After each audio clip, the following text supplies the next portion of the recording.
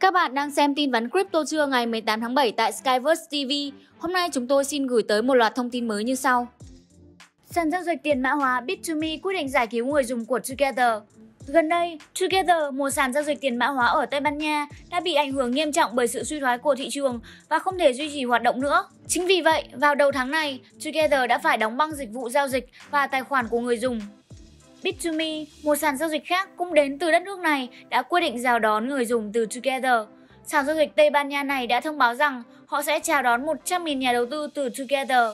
Bit2Me hiện đã xây dựng xong một thỏa thuận để thu hút các nhà đầu tư đang bối rối.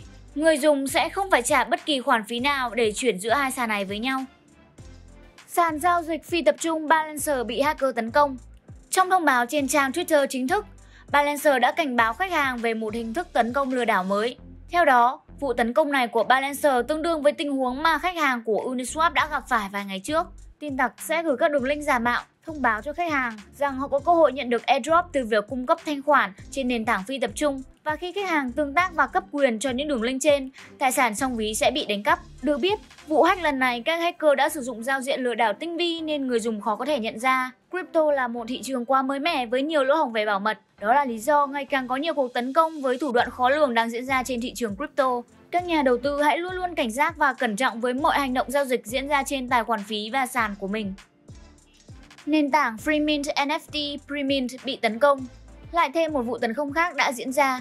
Sáng ngày 17 tháng 7, một nhóm hacker đã tấn công trang web của Premint, một nền tảng cung cấp dịch vụ NFT. Người dùng sau đó đã được khuyến cáo không được kích vào bất kỳ đường liên kết hay ký kết bất kỳ giao dịch nào trên trang web. Mặc dù nhiều người dùng đã báo cáo rằng NFT của họ đã bị đánh cắp, nhưng Premin hiện vẫn chưa thống kê được toàn bộ mức độ thiệt hại. Tại thời điểm viết bài, nền tảng này vẫn chưa xác nhận được việc lấy lại được quyền truy cập trang web của mình hay chưa. Kể từ năm ngoái, số vụ hack NFT đã gia tăng đáng kể, với Premint là nạn nhân mới nhất. Các nhà đầu tư phải hết sức thận trọng trong khi phê duyệt bất kỳ giao dịch nào, luôn kiểm tra lại tính xác thực của tất cả NFT, ngay cả khi NFT ấy đến từ một tài khoản đã được xác minh. Dự luật mới của Paraguay có thể biến đất nước này trở thành thiên đường tiền mã hóa.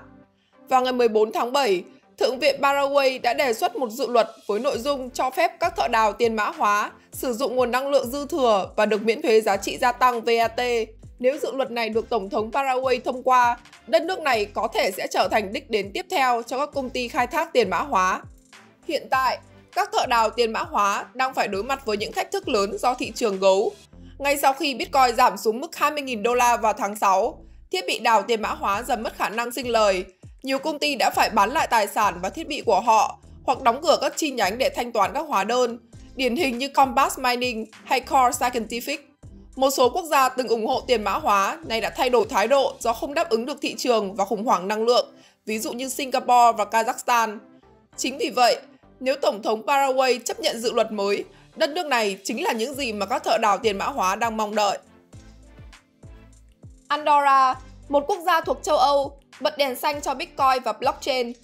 Chính phủ và Hội đồng chung của Andorra gần đây đã phê duyệt đạo luật tài sản kỹ thuật số, một khuôn khổ quy định cho tiền tệ kỹ thuật số và công nghệ blockchain. Đạo luật trên chia thành hai phần. Phần 1 nói về việc cho phép tạo đồng tiền kỹ thuật số hoặc tiền kỹ thuật số có thể lập trình được, cách gọi khác của tiền mã hóa. Phần 2, đạo luật đề cập đến tài sản kỹ thuật số như các công cụ tài chính, Mục tiêu sẽ tạo ra một môi trường trong đó các công nghệ sổ cái phân tán và blockchain có thể được điều chỉnh. Đây được coi là một bước tiến mới của đất nước này trong việc chấp thuận lưu hành Bitcoin và các đồng tiền mã hóa nói chung, cũng như việc bắt đầu thử nghiệm đầu tư blockchain trong một số lĩnh vực khác. Các bạn hãy theo dõi chương trình tổng quan thị trường crypto vào 19 giờ mỗi tối trên Skyverse TV để nắm thêm nhiều thông tin hot và nhận định chỉ số thị trường crypto mỗi ngày. Skyverse TV, kênh thông tin chuyên biệt về tiền số hóa và công nghệ blockchain.